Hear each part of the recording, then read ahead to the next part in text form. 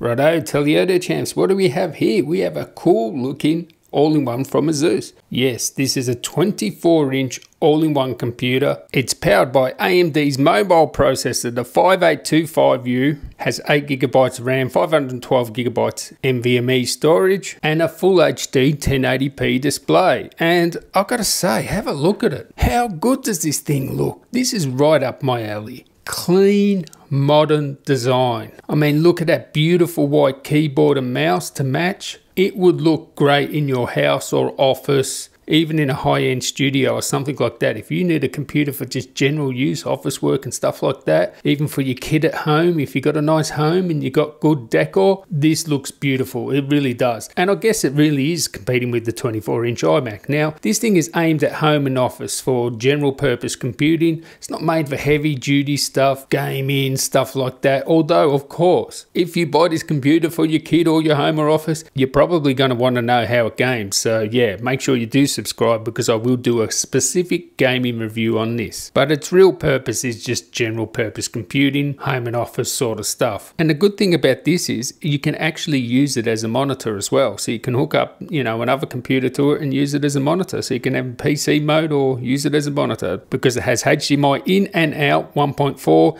has Ethernet, it has four USB type A's on the back and actually one on the bottom of the frame. And it also has an audio jack there, built-in speakers, built microphone and it's Wi-Fi 6 actually wow. I was not expecting Wi-Fi 6 because uh, I'll leave a link in the description for the price of these. These things are very aggressively priced. You can see there it's actually in a bright room that's full brightness looks pretty bright I will measure that but so far I'm very impressed with just the looks of it the design of it and we know these AMD mobile processors which have 6 cores and 12 threads they're pretty good I mean the laptops are good with these sort of processors in them and that's a good thing about this I have not heard one fan so far. Low energy usage, 1080p display, low energy usage there too. It's got a matte display as you can see. looks pretty good I'd say and the viewing angles aren't too bad although the matte coating does get rid of some of the punch but yeah matte coatings do that. We said it had built-in speakers so let's just have a quick listen to those. Oh and did you see last night Linus's channel got hacked. Linus Tech Tips got hacked. That's wow.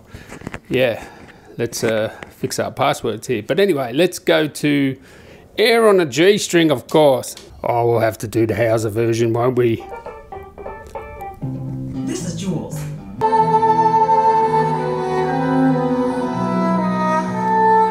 The old Hauser, you'll get a bit of copyright if you listen to too much of that. But um, the sound is good. I like the looks of it. Very modern. And for office work, we will test it out, especially for gaming. Make sure you subscribe for that because we know if you buy this for your kids, they're going to want a game. So we've got to see how it games. But so far, just using it, it's been quick and snappy. And the thing is, there's no point me thermally throttling this and all this rubbish because it's made for home and office, all right? We're going to see in the gaming review the real thermals of it, but really this is just for home and office, this stuff. So anyway, catch you in the next one. Tally ho.